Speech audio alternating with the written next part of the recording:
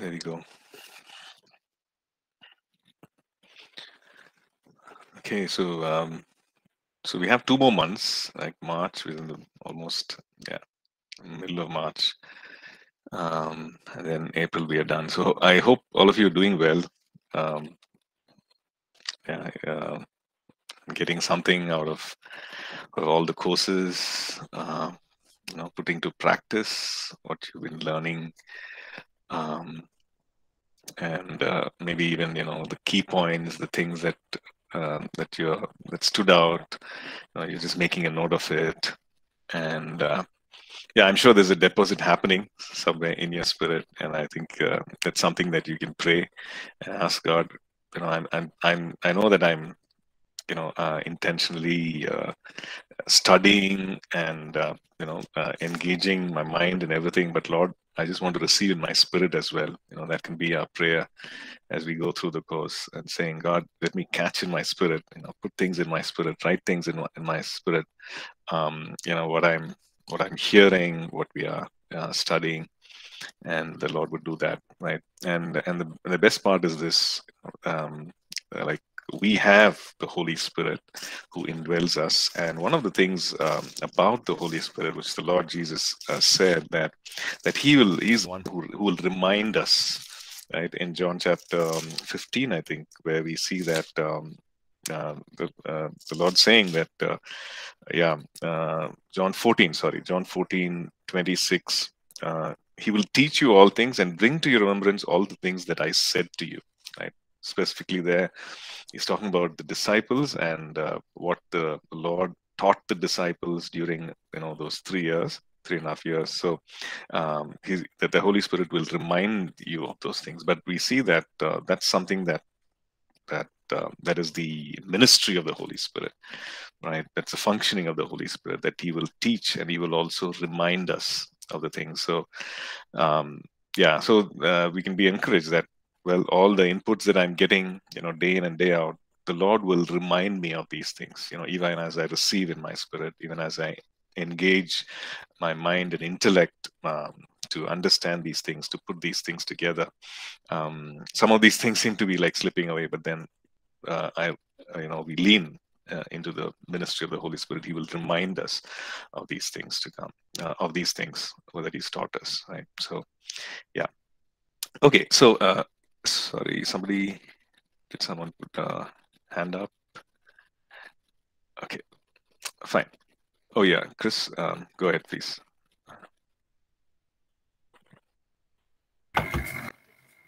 Ah, yes, Pastor. So I, was I was, as you were just talking to this, uh, I was just uh, wanted to ask you a question with regards to, uh, you know, the, um, you know, the, the impression you have and, you know, the, the uh, you know, what is your feel about, you know, uh, the level, not the level of, not just the level of interaction, mm-hmm. but also, um, uh, you know, what, what, and the, you know, you know, kind of feedback that you get from, you know, the, the online class versus all the, um, you know, the, the in-class, uh, you know, um, that used to happen before, uh, before the, before COVID. The in-person classes, okay. Mm um, I, I think the, for me, I think personally, I think um, you know it's, it has been uh, you know extremely positive, and um, you know obviously there's a lot of lot of you know ex, you know really good um, uh, you know um, learnings that um, that I have personally got. Um, but I think um, you know I think it, it, may have been a bit different. You know if it is if if it was in class. Um, yeah. Um, the other point is that um, from a point of view of you know just being uh, you know, um, uh, just have you know the application of it you know in in the class itself mm-hmm. uh, i know recently uh, you know some of the uh, some of the other uh, um, uh, lecturers have been um, you know trying to put us in breakout groups and you know engaging uh-huh you know engaging with us uh, in a in a more personal way. But other and also there's also engagement within the within the uh, participants uh, within the students themselves which i think is uh, which is really good you know. I mean i think that's where technology is, uh, has, has actually mm. facilitated that. So I, I, I, guess my point is that um, you know what maybe what you know maybe some of the feedback that you may want to provide to us, and also um, whether there is opportunity to you know to provide to do some more uh, uh, you know um, uh, interaction mm-hmm.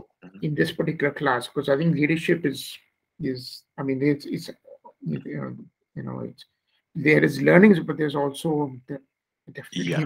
to apply it. Mm. So how would it be different in an in-class um, uh, you know when you taught this in in-class environment versus yeah yeah. now. Yeah. Yeah in person of course uh, i was just thinking of a couple of things. Uh, thanks for that feedback also um, chris. Yeah a couple of things would be of course our uh, um, the in class you know we, we won't think twice about having a group discussion you know splitting into different groups and and doing that. Um, whereas here you know um, um not always. Um, and also i think uh, in person the the informal discussions you know maybe during the break maybe uh, you know one-on-one chats or just the informal discussions that we could have uh, outside of class you when we just step out uh, during a tea break you know. I think those are things that we uh, that we really miss i mean miss and we can't really replicate online. Um, but apart from that i think uh, yeah um, like my my uh, observation is that the feedback uh, my feedback is that um, you know we've we've had some good engagements uh, some, some good questions uh, which have sparked some good um, discussions. Um, but i take your feedback. I'll see how we can how best we can maybe we can look at case studies uh, um, maybe uh, you know in a in a in, in a in-person setting we could also do these group presentations where people can step up and then you know uh, uh, do a group uh, presentation uh, each person doing different uh, you know aspects of that presentation. But um, yeah um, i'll see uh, how we can do this um, maybe we can do some case studies uh, we can do some group discussions so so yeah. I'll find out. So uh, you've been doing a breakout session um, uh, in the google platform? Uh, have you been doing that? Yes yes. So uh, we have done it uh, recently. I think this this week we did it in um, in pastor jean's um, class. Oh okay. And okay. Um, i think we also have done it in um, Nancy Nancy Ramya's class also. Oh, okay, okay. Yeah, so those right. two classes, um, those two sure. classes yeah. Yeah, thank you. Yeah, I'll I'll I'll I'll see. I'll also talk to the faculty. I'll see you know how they did it, and uh, it didn't really uh, occur to me uh, how we could do it, but uh, yeah, that's something that we could do. Thank you. Yeah. Right. Any other uh, thoughts? Uh, any other feedback? I know we didn't plan this, but maybe you can take a minute or two um, to make the learning even more, um, you know, uh, helpful, uh, maybe.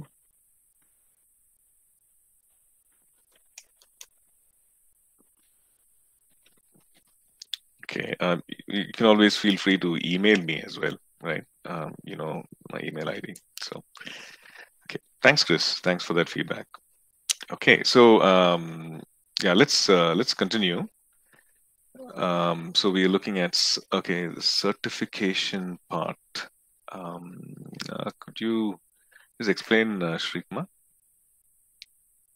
Yeah, uh, thank you, Pastor. Uh, just want to uh, uh, just want to share like um, uh, is it uh, I don't know how it is possible or not, but um, uh, even I'm not aware about um, the like it's hmm. absolutely uh, it's a it's a, like um, the the it's very informative and it is uh, really uh, you know building uh, each one of our personal uh, spiritual growth but uh, the the part of uh, certification um, of this course how valid it is like no i just want to know that and um, especially in india mm-hmm. where we need you know a special kind of you know um, this Asian theology, ATA approval and all.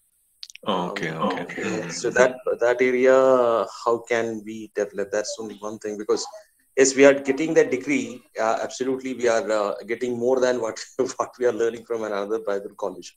Mm-hmm. But when we when we spending three years and uh, and uh, that the ATA is not there, then we have to just uh, look uh, something else also, uh, Mhm. you know, um, to uh, to get that certification or uh, whatever it is. So Ah, okay, okay, okay. for For maybe by- for your post graduation. post graduation or whatever it is, then then again we have to do something another three years or two years. Uh, you have to spend Oh, for get uh, something which is connected with ATA to like from other Mm. colleges to to get that ATA approval. Yeah, that's that's one thing I just wanted to say. Yeah, so we yeah, yeah, it's true that we do not have an ATA accreditation. Um, maybe But is it only valid in India or um, or uh, is it in abroad? Uh, you can use this certificate. Also? Uh, I'm not too sure uh, about that, Yeah, Yeah, I'm not too sure. Probably uh, uh, Diana would be Diana Nancy would be able to answer that, um. Or maybe even Pastor Ashish. I'm I'm not really familiar with that. Okay. Okay. Um, you could write to you know you could write to Diana and um, you could get that information. Thank you, Pastor. Thank you. Okay, yeah. So uh, if you have anything related to the course in that aspect, you know, about certification, about accreditation, about uh, maybe you want to do a higher thing, uh, you know, uh, post graduation or something um, uh, overseas, if you're thinking, and and uh, you know how this would help, you could check with uh, Diana. I, I'm not too familiar with that. Right. Sure, Pastor. Sure. Thank you. Okay. Right. Okay. Okay, let's uh we'll continue. Okay, let's um just share that.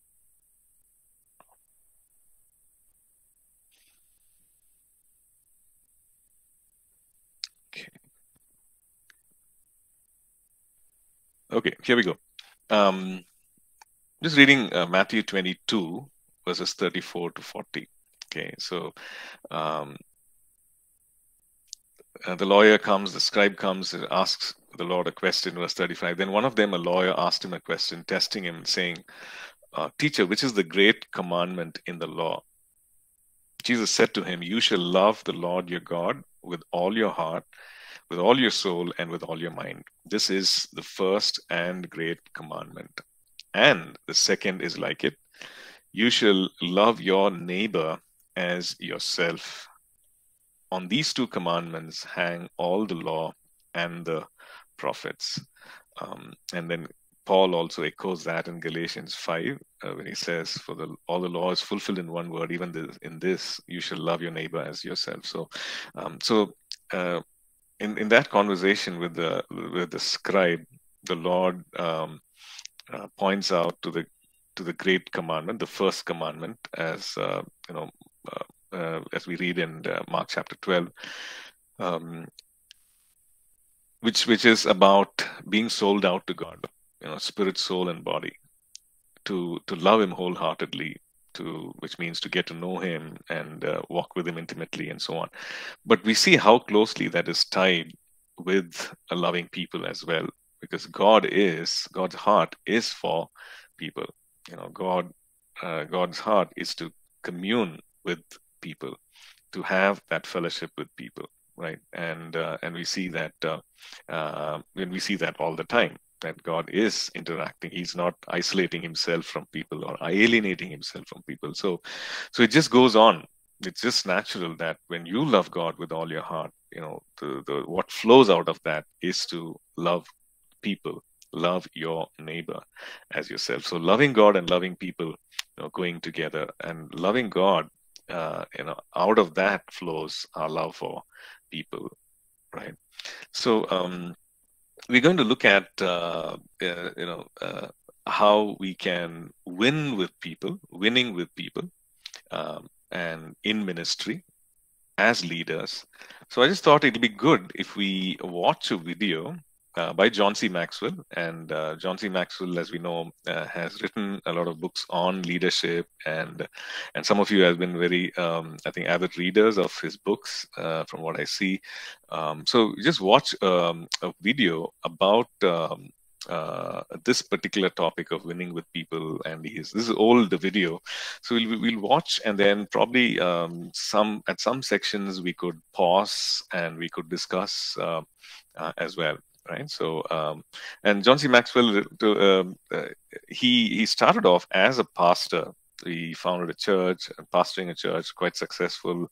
But he felt the Lord call him uh, into this um, space, you know, e- even which involves uh, you know secular uh, audience, and um, to to talk about leadership, to to write about leadership, and uh, he's uh, he's really made a made a mark. Uh, uh, and uh, and a really strong voice on leadership and a refreshing voice on leadership um, and uh, and and and the Lord has been using him uh, quite um, you know successfully and and and uh, as a voice of impact in that area right? So um, so uh, when he talks about this you know certain things are very very practical um, and but he comes from a, a biblical standpoint you know uh, though he may not really quote scripture uh, uh, uh quote verse uh, I mean chapter and verse for each and every statement or each and every principle but you know that it's founded on biblical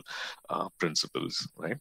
And of course some of his examples and illustrations are very uh, very American because he is one. So it's uh, it's closer home for him to listen, talk about those kind of uh, scenarios. So that's the only thing that we need to be um, mindful of, right? Okay, so let's uh, let me try and share that video, and we'll watch. I I will be switching off my um, camera, uh, but I just want you guys to engage with it, right? and don't switch off. Okay, let me share the video. Okay.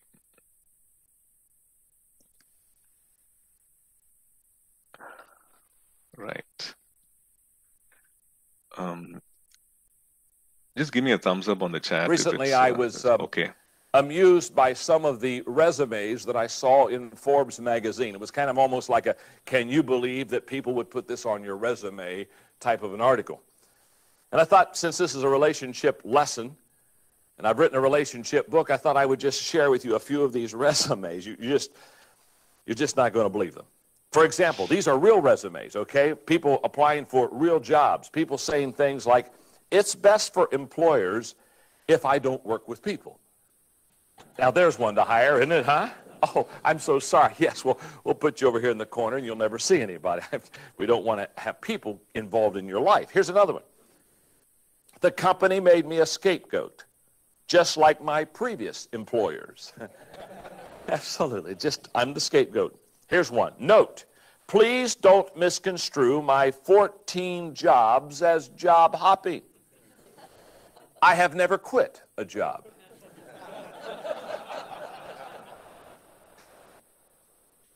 one more. I love this one. References? None. I've left a path of destruction behind me. the book is entitled Winning with People Discover the People Principles That Work Every Time. Now, when you look at that book and you realize that I say discover the people principles that work every time, I didn't say, and I want to make sure you understand I didn't say discover the people principles that work every time for everybody. I didn't say discover the people principles that work for others every time. I did say discover the people principles that work for you every time. Because, two things in your notes. These people principles will help you better understand others. And two, they will help you better understand yourself. The result, the daily practice of these people principles will improve your people skills with everyone. Note, I did not say everyone would like you. That's impossible. You see, we cannot always determine how others will respond to us. We can't always determine how we will respond to others. So, therefore, note when I respond correctly to you, I win. That's what these people principles will teach you. They'll teach you how to respond correctly to others. When others respond correctly to me, we win. What I'm concerned about is not how other people relate to you. I'm concerned about how you relate to others. A long time ago, I learned that I cannot control the actions or the reactions of others. But if I understand people correctly and if I have good people skills, I can control mine. And I can determine not how they feel about me, but I can determine how I feel about them. In fact, one time I shared with someone, I said, I have no enemies. And they looked at me and said, well, well, how could you have no enemies? Being a leader like you are and a strong leader and building organizations, you've got to have a lot of people that aren't happy with you. I said, oh, no, no, I, I didn't say a lot of people were unhappy with me. I, it's, I have no enemies. See, how you treat me, that's your choice. How I treat you, that's my choice. If you don't like me, that's your choice. I'll still choose to like you. Too many times we underestimate the power of personal choice. And when I talk about how these people principles will help you to win with people, what I know is if you have the right attitude with the right relationship skills and the proper understanding of people, you will always win. In your notes. In life, the skills you use and the people you choose will make or break you. I've divided the people principles in this book according to five critical questions that we must ask ourselves if we want to win with people. Number one is readiness. Are we prepared for relationships? Number two, connection. Are we willing to focus on others? Three is trust. Can we build mutual trust? For investment, are we willing to invest in others? And finally, number five, synergy. Can we create a win win relationship? I want to talk to you, first of all, today about readiness. Are we prepared for relationships? Now, in this readiness level of relationships, there are five people principles. Number one, the lens principle. The lens principle says who we are determines how we view others. I love the Groucho Marx comment. I wouldn't want to belong to any club that would accept me as a member. Says it all, doesn't it? You see, the question I must ask myself is what is my perception of others? Because who you are determines the way you see everything. You cannot separate your identity from your perspective. All that you are and every experience that you've had color how you see things. It's in your lens. Here's what I mean. Number one, who you are determines what you see. A Coloradan moved to Texas and built a house with a large picture window from which he could view hundreds of miles of range land. When asked how he enjoyed the view, he responded, The only problem is there's nothing to see. About the same time, a Texan moved to Colorado and built a house with a large picture window overlooking the Rockies. When asked how he liked it, he said, The only problem with this place is that you can't see anything because all those mountains are in your way. Who you are determines how you see. I was having dinner the other day with Frances Hesselbein, and I was also having uh, time with Jim Collins, having a wonderful, really three-hour dinner in that process. And because Frances has been uh, with Peter Drucker for many, many years, I asked her what was the greatest thing that he ever taught her. She said that he has said to her many, many times, Frances, look out of the window and see things that are within your view that others do not see. What Peter Drucker was basically saying is, we all can look at the same thing, but we don't all see the same thing. We're going to see according to who we are. For example of that, my wife Margaret, very aware of what people wear. Uh, many times we'll be at a party together and she'll say, you know, you were talking to the guy in the blue sweater. What did he what was he talking about this evening? And I'll look at her and I'll say, What blue sweater? I can't relate. Now, she sees the person with the blue sweater. That's how she views people, by how they dress, what clothes they have on. Personally, that's nothing that really grabs hold of me. Now, see, she looks at a person entirely different than I look at a person. Who we are determines what we see. Number two, who you are determines how you see others. It's a classic old story of two guys, uh, separate families, that were moving into a little town, and on one day, one of the guys who was moving into town stopped at the local hardware store and said, I've got to ask you a question. He said, How are the people of this town? And the owner of the hardware store looked at him and said, Well, let me ask you a question. How were the people from the town that you came from? He said, Oh, he said, they weren't very friendly. He said, In fact, that's why I'm really glad to be moving to this town. And the guy at the hardware store said, You know, I'm so sorry. They're not very friendly here either. A couple days later, another guy dropped by the same hardware store, said, I'm moving here. He said, I got to ask you a question. How are the people of the town? And again, the owner of the hardware store looked at him and said, Let me ask you, how are the people in the town that you just left? Oh, he said, We hated to leave. Those people were so friendly and so warm. We had great relationships. And the owner of the hardware store says, I've got great news for you. They're friendly here also. You see, it's a fact.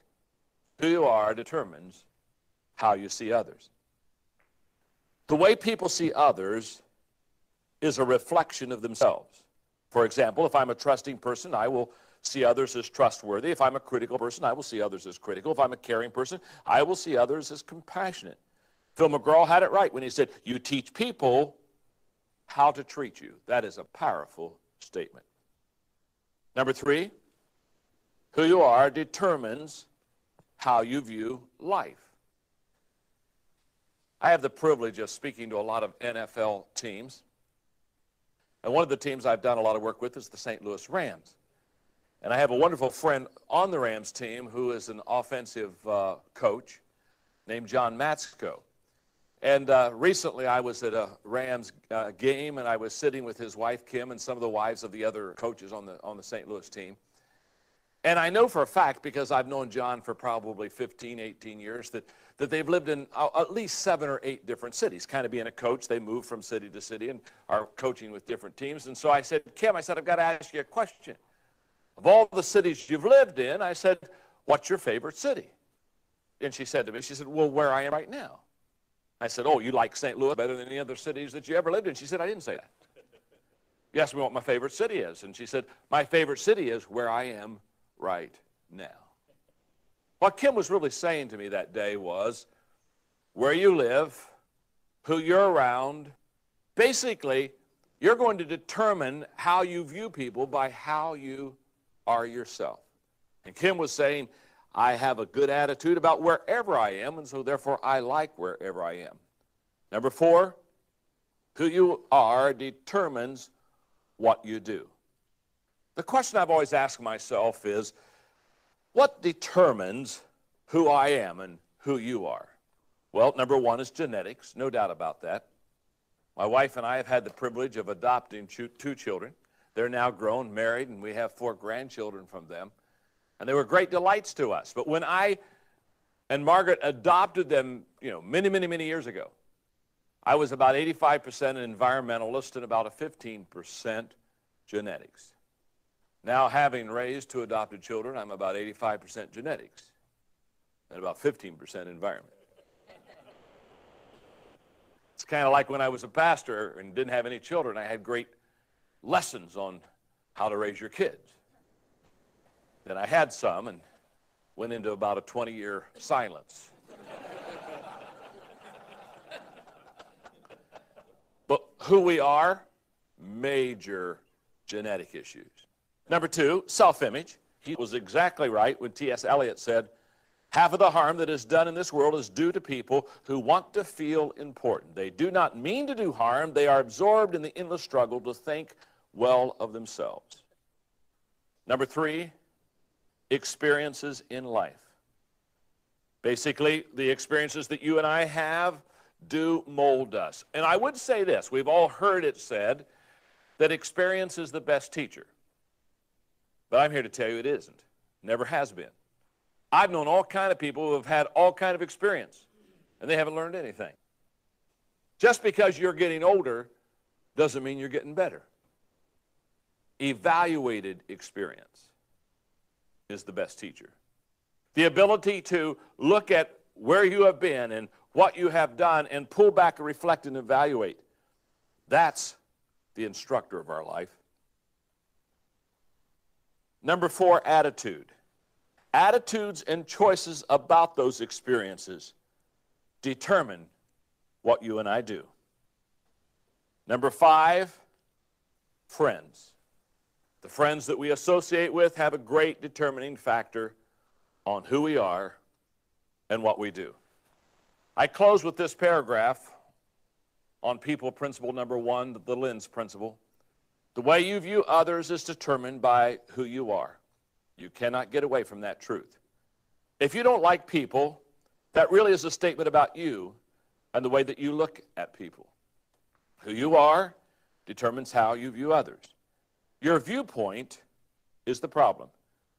If that's the case, don't try to change others. Don't even focus on others. Focus on yourself. If you change yourself and become the kind of person you desire to be, you will begin to view others in a whole new light. And that will change the way you interact in all of your relationships. People principle number two.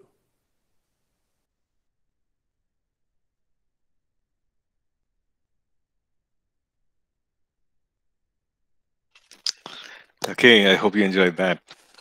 Um, I just like to add one more thing, you know, which determines who we are, which is really um, what we've been learning from the first semester, which is, uh, I mean, he's been talking about identity, but the fact that who we are in Christ um, actually covers everything else and supersedes everything else, right? So when we come to that understanding and that revelation, and um, if we allow that revelation and truth to change us from the inside out, that would, you know, change everything else, right? So I just want to hear your thoughts um, about getting ready to relate to others.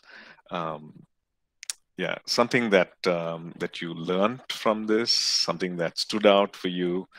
Um, yeah, uh, yeah, I'm just leaving it open. So yeah, what you yeah, go ahead, uh, say. Thank you, Pastor. I, I think one thing um, one thing that stands out from everything he said said is um, when we want to relate with people or if we have issues with people, it's very important for us to check ourselves. We could be the problem or our viewpoint or a perception of that situation or that person or people around us could be from us.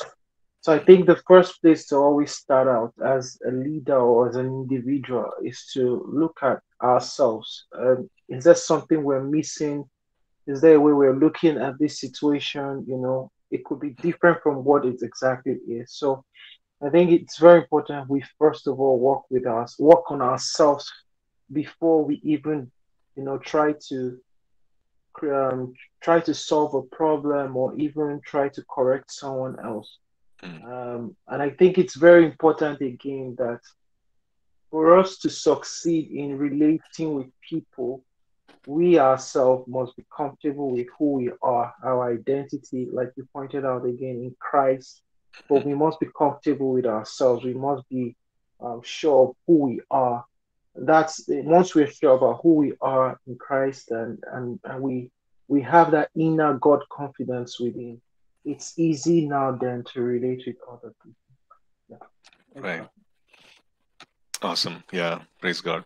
Um, thank you, say, you know, um, uh, having worked in like um, uh, four organizations um, prior to coming to and to work uh, prior to working with church, you know, realize that um, uh, you, you, I mean, you see, you know, broken people, and as leaders, you see people with, um, you know, insecure people as leaders. You see, uh, you know, people with so many issues as uh, you know as leaders and who are overlooking who are seeing uh, some great uh, i mean some big responsibilities. And um, and of course we are all works in progress. I'm not denying that. But the fact is that uh, when we are healthy uh, and whole, then the way we see things uh, changes.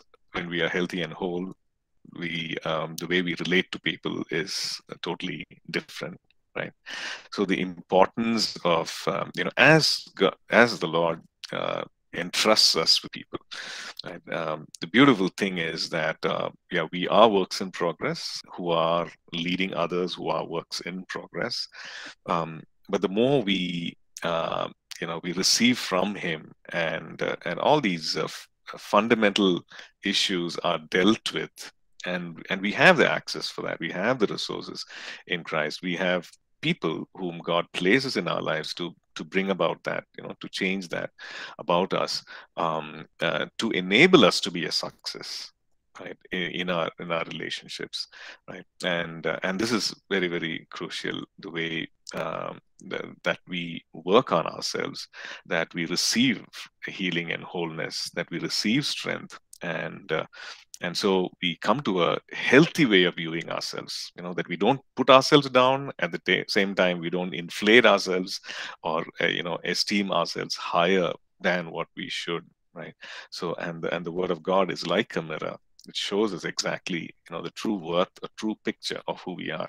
And that is why we are exhorted to you know in the book of james to to look into the word to continue in it. And it's like a mirror. Which shows us who we are right now any, any anyone else um, what what you picked up from what you saw something that was highlighted to you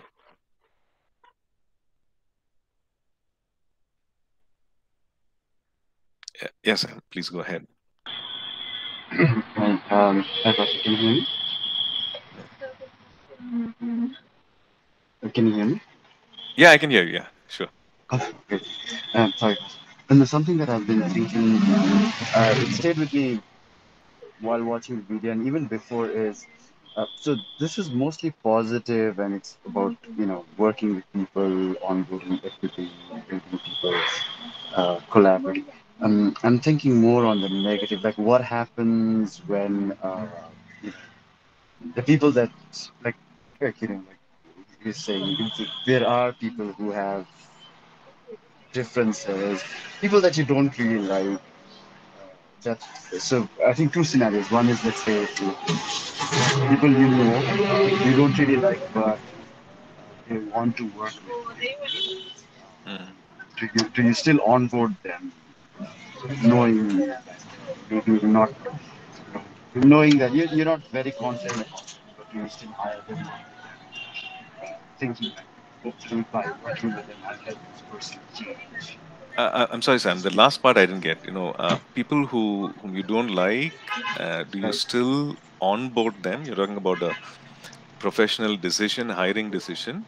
Okay. Yes, something like that. Collaborate. You decide to collaborate. Mm you still do that, hoping that it will change, you'll be able to change them, or you will be able to change your perception about them. Mm. Or, or similarly, you know, people working with you already, working with you, and there are some conflicts, there are things that you don't like, and you try to address. But, uh, you know, you're seeing that changes are not happening, and you're saying you want to break that relationship, mm. walk away from it. Uh, how how long do you keep being optimistic? or keep mm. trying to change your perception uh, versus just calling it. Mm, yeah, I think that's um, yeah, that's an important question and an important decision that needs to be made as well. You know, when it comes to hiring, of course, things are clear, your expectations are clear, and yes, people are different. So, um, but you have your expectations uh, based on competence, based on how they would culturally fit into the ministry or organization. Um, you know, it's not you're not really being partial, but um, but this is your you know this is your expectation or this is your profile uh, for the role uh, or it could be a church it could be ministry it could be an organization uh, business whatever. But this is you know this is uh, you have a set expectation profile okay? Uh, you look at the competence you look at their you know, personality type you look at the you know the culture and values what they stand for and you see if it will be a right fit for um, for that role um, there could be certain things which can be aligned because of training and uh, and mentoring and so on. So um, it's really a you know a call that you take at that time right? And and of course most organizations have that period of orientation where where both the hirer and the one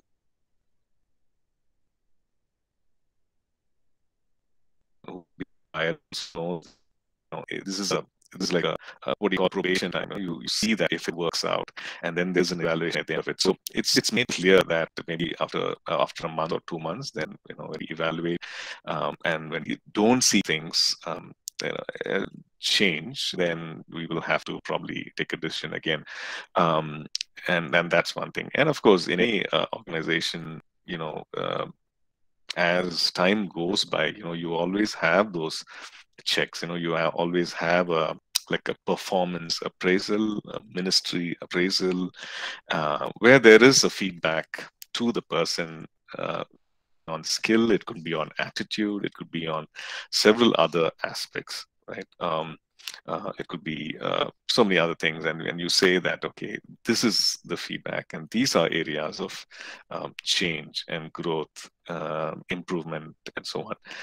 So um, let's say a person is being a difficult person you know uh, being very disruptive uh, not getting along with others. And of course uh, you know being the compassionate leader you need to find out why is this happening. Maybe things at the home front not going well you know is there some kind of pressure that the person is going through? And of course we we find that find, find all that uh, in in conversation and try to address that and say hey this is not really helping. Um, and uh, uh, this is how it's affecting this is how, how it's affecting uh, you know the the morale of people it's affecting the productivity of people.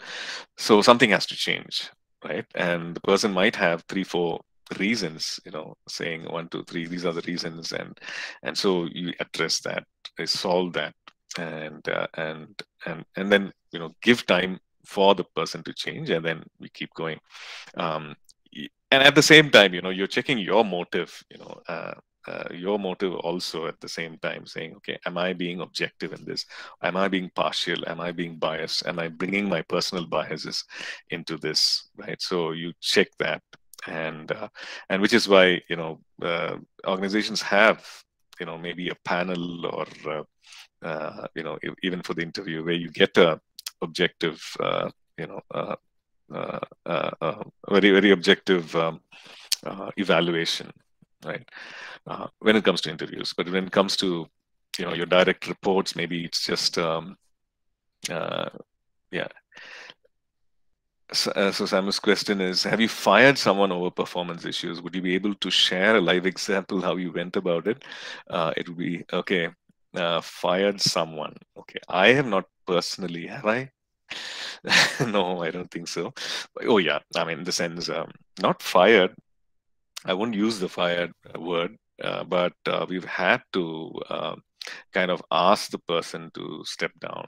Um, and I think it was um, Mm, so we've had you know we uh, we had issues. This was someone who was um, you know uh, volunteering and serving in the worship team and and there were some issues. So we had a uh, a, a, long uh, chat about it a discussion a very real discussion. So myself Pastor Roshan and this person, and then we had a discussion um, uh, just to evaluate, okay, how things are going, and hey, um, you know, are you happy doing what you're doing? And and the person came back um, with, uh, you know, with certain things. You know, this is what I find is wrong in the, you know, in in the practice sessions, and and the person was coming from a place of uh, saying, okay, uh, you know, I have these all these years of experience and all these yeah, you know this has been my qualification this has been my uh, training and this is my experience so and here i have someone this person you know just re- uh, like join uh, had at that point maybe i'm talking about maybe three four years back at that point just joined the uh, team you know and uh, was having these issues uh, having these challenges. So and people were also feeling a little um, you know uncomfortable.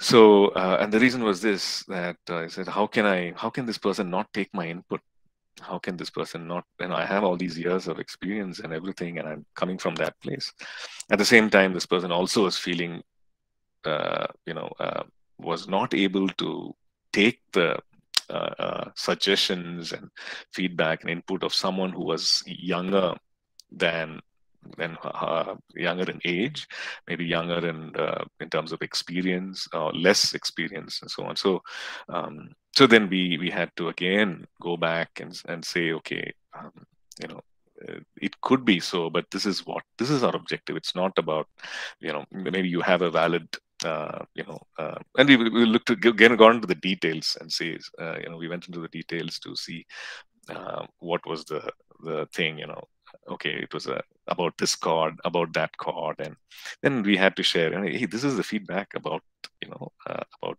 you, about um, your skill level, your lack of it. You know, so it doesn't just, it's not just about how many years of experience you have or, you know, qualifications or, uh, uh, you know, you have about the particular thing, but having, being able to put uh, and being able to deliver. So, you know, and it doesn't matter if the feedback is coming from someone who's less experienced, you know, that person uh, is, is part of the team and you take it well. So we had to address things like that. And then we also found out that there were other issues, you know, um, other issues, uh, domestic issues, so which were coming, which were really adding to the problem. And then uh, just felt that it was, um, we said, okay, you know, why don't you uh, uh, initially we just felt like saying, okay, why don't you take some time out, um, uh, uh, you know, and then get back. But then we just felt that it's better that we uh, you know ask that person to focus on some other area of uh, of ministry rather than the worship thing. Because um, the other issues were not going to go away because um, it was very clear uh, even if he made changes in a few areas um, the other things he was not going to make any changes whatsoever because it was like beyond him. So he said he rather than things not helping in uh, you know not not thing i mean this uh, not things um, this this really not making uh, things any better uh, at the home front. I think it's better that you you know focus on that uh, and uh, it would be better that you focus on some other area of ministry which does not require so much commitment of time some other area of ministry. But um, yeah, so so we suggested that, and he also graciously accepted. And uh, yeah, we're still friends. We're still, you know, uh, working. I mean, working in the sense worshiping together, but uh, um, you know, from time to time, pray, uh, uh, call, etc. But uh, yeah, so this is this would be the closest um, that we had to at I for me personally. Uh, not really fire because we are dealing with volunteers here. Um, and this is what we had to do. So, yeah, and it's it's not always a comfortable thing. I know, like given my personality, I really had to you know, work at it. Um, uh, uh, and uh, you know uh, do this right so yeah so but the thing is we need to be true uh, to ourselves true to uh, what we are actually the bigger picture. Right? We are serving, uh, we are serving God, and um, we are serving God together, and we have a you know shared uh, set of expectations, and and of course this is uh, you know it's not like the over one conversation it's done with right, but this was the uh, you know the final conversation which uh, which happened. So yeah, so King Saul performance is used there. So I hope this was helpful, um, uh, Sam. Um, it is. It is perfect. It's still one of the, I think, most difficult conversations to have yeah. with someone. Absolutely, it is. It is difficult. Yeah, it is difficult because you're thinking of, you know, what would happen to the person. You know, this was okay, but I'm sure, you know, there are other things where it involves the livelihood of the person. Your, you know, uh, but then um, it has to be done it has to be done. In a ministry scenario it has to be done. You know, sometimes we think uh, you know we should not do that. No. Uh, we, we we need to be true to god. We need to be true to others. And uh, do it uh, with grace and, with love. Uh, we're not rejecting the person altogether you know you're still being in touch with the person. And you do it with uh, the communication with with regard you know honor and it has to be done, right? Um, so Tarun, uh, about King Saul, how how God rejects King Saul, is that what you're saying? Yeah, I'm, I was just uh, thinking through performance issues, but uh, yeah, it's a good scenario to like. I'm just pondering on like, did he?